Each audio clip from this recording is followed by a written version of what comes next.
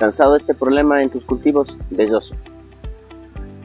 El que prácticamente puede terminar con toda tu producción y hacer perder casi el 90% de toda la productividad. Vamos a tener dos tipos de ataque de velloso. ¿sí? El primero, que es el velloso a la hoja, como estamos observando aquí en, en el cultivito.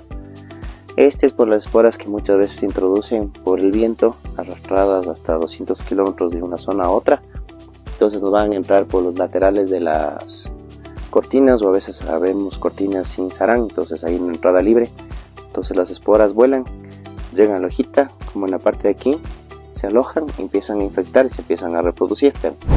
Aquí vamos, permiso, vamos a sacar esta plantita, entonces como ustedes pueden observar, la, la hojita se deteriora. Por lo general aquí en el embés, si podemos ver, vemos como un polvillo rosado. ¿Sí? Aquí todavía está el velloso viejo. Vamos a repetir la aplicación. Lo que es fósil a 1.5 cc y genciana a 1.5. Con esto vamos a lograr un control efectivo y rápido de lo que es el velloso a la, a la hora. Contáctanos para poderte dar asesoría y ayudarte.